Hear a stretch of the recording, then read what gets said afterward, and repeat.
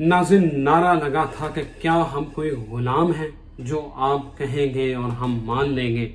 लेकिन इस नारे में थोड़ी सी जो है ना, वो तब्दीली आ गई है तरीके इंसाफ की तरफ़ से, और वो ये है कि हम आपकी गुलामी भी करेंगे और आपके लिए जासूसी भी करेंगे। नाजिन, अब हालात ये हैं कि मुबैना तौर पर तरीके इंसाफ अमेरिका के लिए जासूसी भी करेगी और बताएगी कि पाकिस्तान, क्योंकि साढ़े तीन साल हुकूमत में रहे हैं ब्यूरोक्रेसी में इस्लाम दुआ है। फिर बाकी जो इदारे हैं, उनमें भी उनकी इस्लाम दुआ पेनिट्रेशन तो होती है साढ़े तीन साल, आपने हुकूमत की हो। तो अब गुलामी वाला नया नारा जो हो गया ना, वो पुराना, कि हमको गुलाम है। डोनल्ड नू का खत लेके आगे इमरान खान कि ये देखे ये खत आ गया है तरीके अदम एतमाद के थ्रू जो है वो मेरी हुकूमत गिराई जा रही है लेकिन अब नाजिन हालात ये अक्सर बदल गए हैं अब उन्होंने कहा कि हजूर आप गुलाम भी हाँ तो थोड़े वास्ते जासूसी भी करने हैं ਤੁਸੀਂ ਦੱਸੋ ਅਸੀਂ ਉਹ पता करके दसने की चल रहा था कि नहीं नाजिन मुबैना तौर पे खबरें ये हैं कि अमरीकी इस वक्त फुल हरकत में है अलर्ट हुए पड़े हैं और वो खबरें लेने की कोशिश कर रहे हैं कि ये आर्मी चीफ जो अमरी चाइना गए हैं, वहाँ क्या चल रहा है? क्या नए माहदे हो रहे हैं? क्या पेशरफ हो रही है? कौन सी चीज़ें नई डेवलप हो रही हैं? और उस सिलसिले में जारी बात है, वहाँ चाइना का जो मैकेनिज्म है, जो वहाँ पे सिस्टम है, वो खासा कड़ा है और इंफॉर्मेशन जो है वो लेना ज़रा मुश्किल है। लेकिन हमारे यहाँ देखे ना, चाइना की जो खबरें हैं, वो कभी तरीके इंसाफ वाले उधर भाग रहे हैं, कभी इधर भाग रहे हैं। अमेरिका सरकार ने ऑर्डर लगाया कि ज़रा पता करके बताएँ कि क्या क्या नए माहदे हो रहे हैं। तो तरीके इंसाफ ने वो जो गुलामी वाला नारा था वो ऐसे यूँ पकड़ा है, ऐसे करके यूँ फेंका है और कहा, सरकार आप थोड़े खबर भी इकट्ठिया करने तुम आर्डर लाओ। लॉबिंग फर्में हायर हो गई हैं। वहाँ चल गए शबाज गिल, वहाँ के सैनेटर्स को जाके शिकायतें लगा रहे हैं। कि मुर्शद आया हो गया जी। तुम तो माई बापू, साढ़े को खान साहब को गलती हो गई है। तुम छोड़ो, उन जज्बात आ गए या अंडर सम सुपर पावर्स को उनके मुँह से निकल गया होगा। हालाँकि दिल से वो आपके साथ हैं।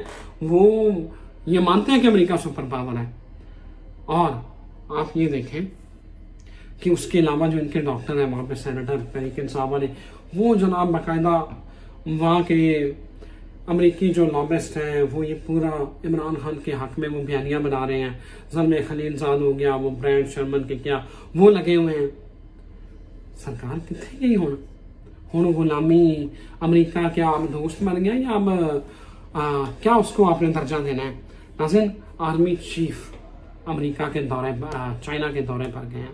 उसके बाद एकदम सारा सिनेरियो बदल गया और एक और डेवलपमेंट नाजिन कि जो अभी डॉन न्यूज़ की जो वेबसाइट है, उसके मुताबिक मैं ये आपको खबर बता रहा हूँ कि वाशिंगटन पोस्ट की रिपोर्ट जो है ना, उसने बताया कि मैसेजिंग प्लेटफॉर्म है डिस्कोड उन्होंने जो है ना, वो शबाज शरीफ और वज़ीर ममलकत बरए खारजा जो हिना रबानी खा रहा है।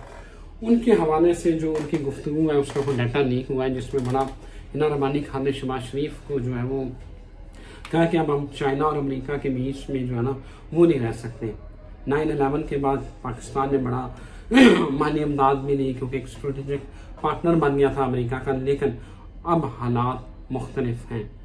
हम अमेरिका के साथ उस तरह से नहीं चल सकते क्योंकि अब चाइना की इन्वेस्टमेंट हमारे साथ है, चाइना के साथ हमारे स्ट्रेटेजिक और मुआशी मामला जो है वो बहुत हद तक आगे जा चुके हैं। आप ये देखेंगे फिफ्टी एट अठावन अरब डॉलर का एक नया रेल का प्रोजेक्ट ट्रेन का प्रोजेक्ट जो है वो आ रहा है।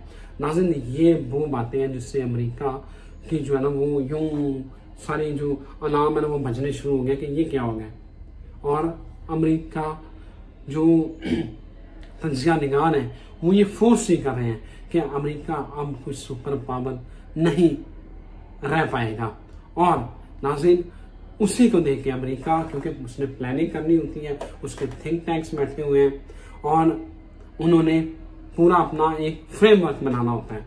तो उस मामले में अब उन्होंने जो उनके सफ़ीर हैं ब्लूम डोनल्ड ब्लूम वो बड़े एक्टिव हुए पड़े हैं। और मुख्तलिफ़ जराए जिसमें तरीके इंसाफ को भी मुबैना तौर पर उन्होंने इंगेज किया कि हमें पता करके बताएँ। नासिर सबसे आप सोचे यार, उस नवाज़ शरीफ का क्या जिगरा होगा?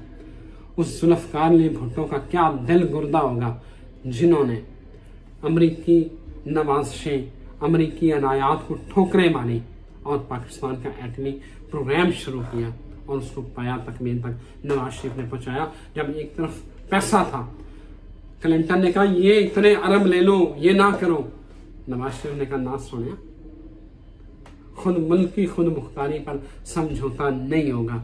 मैं तो सोचता हूँ, अगर इमरान खान तब होता इसने तो कश्मीर में इसने है अल्लाह खुदा ना खासा अगर ये तब होता तो इसको, हो सकता पाकिस्तान ना बेच देता और फिर ऊपर से ये बातें करते हैं पाक फौज को कि फौज ये करती है, आप फौज अगर यहाँ ना हो ना तो आपका हाल पता क्या हो? जो इस वक्त इराक का है, जो इस वक्त सीरिया का है, जो इस वक्त लीबिया का है। जहाँ जहाँ आपको स्टेटस को तोड़ने, आपको स्टेटस को बुरा लगता है ना? आपने तीन मुल्कों में स्टेटस को तोड़ा। इराक में, लिबिया में, सीरिया में। आप देख रहे हाल क्या हुआ है। और, बहरहाल, आज की वीडियो ये थी कि अमरीकी गुलामी गई भाड़ में। मतलब वो तो ठीक है, लेकिन हम आज से आपकी जासूसी भी करेंगे। शुक्रिया।